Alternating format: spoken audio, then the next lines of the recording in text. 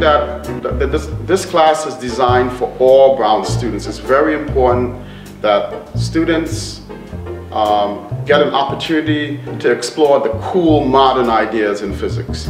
You know, the, the expanding universe, dark energy, dark matter, the quantum universe, quantum gravity, black holes, the event horizon, all these wonderful concepts is, is accessible to you in this class.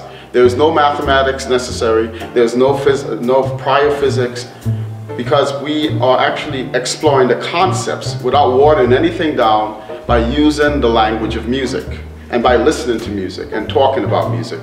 You also don't need a background in music as well. We will introduce all of those concepts and we will have really cool special visitors. Um, there are many relationships between physics and jazz, but one that stands out is how quantum particles in a subatomic world move. They don't go from point A to point B like the particles in the large world, but they actually improvise. They actually consider all possible paths before they, before they get from point A to point B. Just like jazz musicians, when they solo, all notes are actually considered, just like that quantum particle. How do physicists improvise? We sometimes make guesses, and sometimes those guesses are far off from the right answer.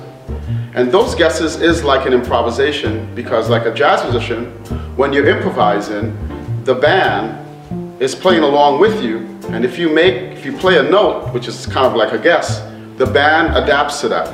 So likewise, when a physicist comes up with an idea, other physicists will take that idea and throw it right back at them in a different form, which allows them to do something more interesting um, in figuring out the unknown to find a solution.